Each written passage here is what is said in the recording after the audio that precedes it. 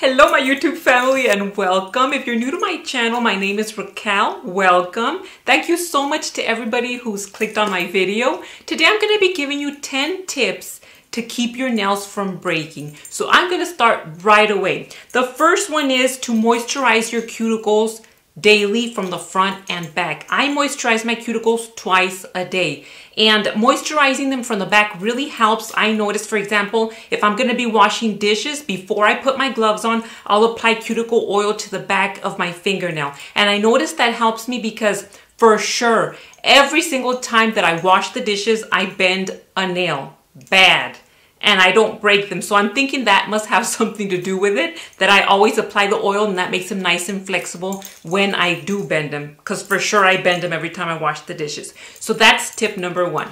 Tip number two is to keep your nails away from water as much as possible.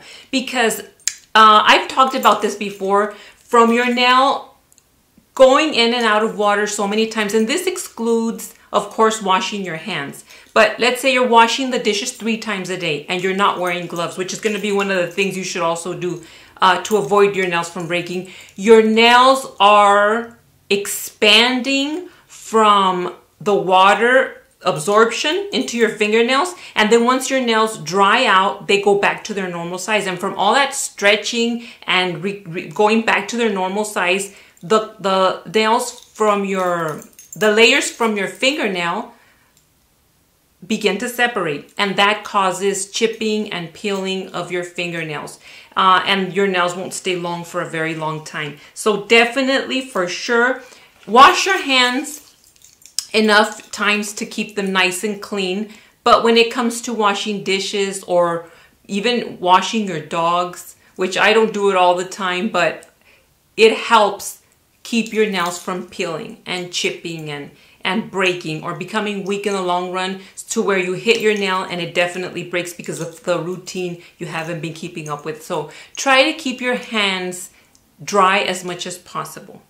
If you're going to be doing gardening, if you're going to be doing washing dishes, anything again that requires your hands to be in water for an extended period of time, definitely Make sure to dry them and use gloves. Very important. Number three would be to never skip your base coat. A lot of people think it's not important to use a base coat. Your base coat is basically the foundation for your manicure. The foundation uh, also for the strength of your fingernail. So you have to find a base coat that works really well for you, for your nail type. That's very important. And for everybody, it's gonna be different. Um, I was asked what base coat am I using right now. You know what? I been using the Nail Aid brand and I'm absolutely loving it. Uh, a base coat is supposed to protect your fingernail from staining when you apply the nail polish and also to help the nail polish, the color nail polish you're going to be adding to grip on good to the nail so it won't be peeling later on the days that you have your manicure. So it also helps protect your fingernail. It's going to be a layer of protection. And if you even want to add more than one base coat, go for it. I do. I apply from two to three base coats before applying my colored nail polish. So let's move over to the next. Alrighty, the next tip is the polish remover you use. I've read that you could use the acetone polish remover and I used the acetone polish remover for years for many, many years, the 100% acetone polish remover. I used it. And I have no complaints about it, but if I had to compare it to using, for example, a Cutex brand that has acetone, but it's not 100% acetone, compared to the 100% acetone, it I do see a difference. So I would recommend that you use, if you're gonna use the acetone uh, polish remover, maybe add a couple of drops of water and uh, some drops of oil just to make it a little bit not as harsh on your fingernails. But the best thing would be just to get like a Cutex brand or another brand that isn't 100% acetone. Again, the 100% acetone does the job and I used it for many years, but I would get a lot more breaks than I do now. So um, that would be another tip um, I would give you. Be careful with the polish remover you use. If you're using a manicure that has a lot of crystals or a lot of um, uh, glitter, then definitely for those manicures. But for like your weekly manicures, just use a regular uh, polish remover. For me, my favorite one is the Cutex brand. My next tip would be to be delicate with your hands. And I feel like a hypocrite saying this because honestly, for me, what I do requires me to move my hands really fast. And I don't have a lot of time to think about my next step, my next step. I just gotta go. I, I pack things. I'm in the computer a lot. I, what else do I, I have to do some traveling so that I have broken a nail traveling as well. But the main thing for me is packing and being on the, uh, the keyboard. Uh, the keyboard, as long as my nails are oiled, I'm fine. The packing, I go, I have to get the tape, cut it out, sometimes make boxes. I enjoy doing that, but I would like to tell you that I, I'm not careful when I'm doing that. And I haven't broken a nail that I can remember, but I do bend them all the time all the time. Uh, but other than that, for my day to day, I try to be cautious. But as cautious as you are, sometimes you're going to hit into something. And you know what I notice? That when I bump into something and it hurts really bad, it's a sign that my nail didn't break. It's a sign that my nail was able to hold on. And I do, I check and my nail isn't broken. Whenever I hit something and it doesn't hurt, I say, oh yeah, I broke a nail. And sure enough, I check and I broke my fingernail. Um, because my nail gave way and that's why it didn't hurt. But uh, be delicate with your hands. Don't use your hands to open Coke bottles and things like that. Use um, a spoon or something else to help you out. Next tip.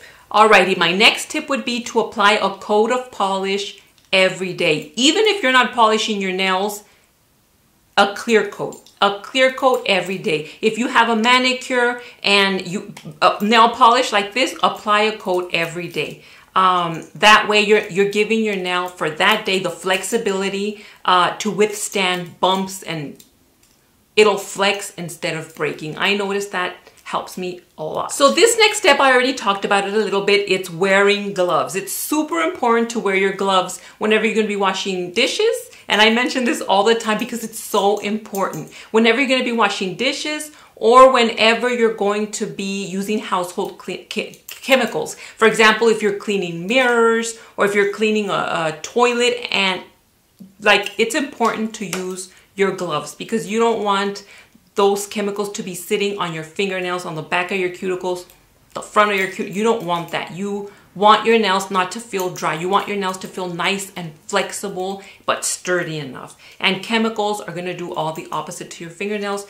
Water is gonna do all the opposite to your fingernails. So don't forget when you're washing dishes, when you're doing gardening, anything, even, even watering the plants, because sometimes watering the plants, you wet your hands. So you could wear some type of gloves. That would help as well. Wear your gloves. Number eight is to be loyal to your nail care routine.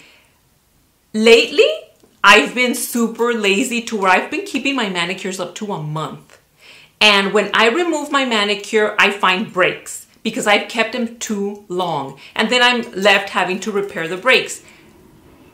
What you want to do is be loyal to your manicure, be loyal to your nail care routine. For me, what used to be the best, the best that I noticed is if I change my manicure from every seven to nine days that's when I notice that I don't get breaks. But if I keep my manicure for a whole entire month, not all the time. They don't break all the time. But sometimes I won't even find out I had a break and who knows how long I had it. And I remove it and I had a break there. And um, it's no big deal for me because I know how to repair my nails.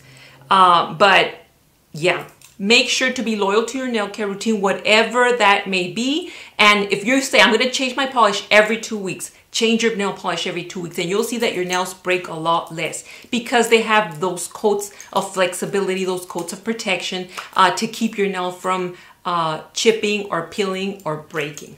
So be loyal to your nail care routine. Another thing that helps me a whole bunch is I like having my nails super straight. Okay, let me show you there. Okay, there we go. My nails are super straight from the corners. Can you see there? Like there we go. You see how super square my nails are?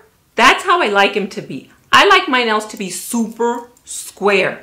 And what helps my edges stay nice without breaking is that I apply a coat of polish. Every coat of polish, my base coat, my colored polish, and my top coat. And all the top coats I apply from there on, all around my nails free edge. That helps against the bumps you're going to be giving yourself during the week. That'll help you not lose your corners. And if your nail is round, it'll help your nail not lose length as well. So make sure you're uh, capping your fingernail all around. As soon as you see that your fingernail starts to get length to it, cap it with each coat of polish. That's a super tip. All right, another thing is going to be that if you have soft nails, use a nail hardener. If you have brittle nails, use a nail strengthener. So if you have soft nails, your nails bend super easy. You need a nail hardener. And try to get a nail hardener with zero formaldehyde, no formaldehyde, because prolonged use of formaldehyde in the long run is gonna give you brittle nails. So you're gonna be changing the soft nails, or sometimes they call them water nails, for brittle nails, and that's no fun. I'm in the brittle nail category, so what I need isn't a nail hardener. What I need is a nail strengthener. And um, that's how it goes. And it's very important to use the appropriate base and top coat for your nail type. Because let's say you have uh, brittle nails, in my case. They're super stiff and they break easily if I don't have my coats of polish.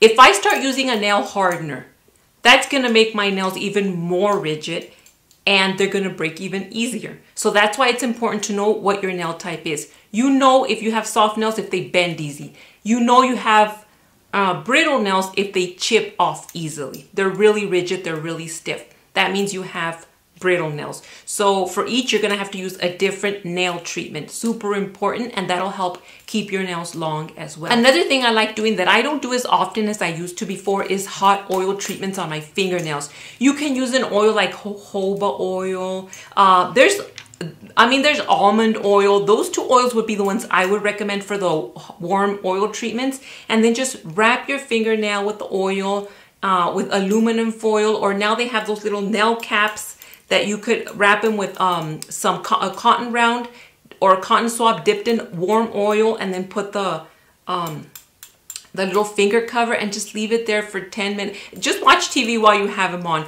and that's gonna give your nail, it's just a perfect little spa for your fingernails. And that's it, you guys. Those are my tips to avoid breaking a fingernail. And uh, that's what helps me. If I'm loyal to these steps, I will keep my nails from being broken. But those are my tips and tricks for avoiding breaking your nails. I hope you guys enjoyed this video and give these tips a try. Super big, humongous hugs, huge kisses. Take care, you guys, and I'll see you next time. Bye.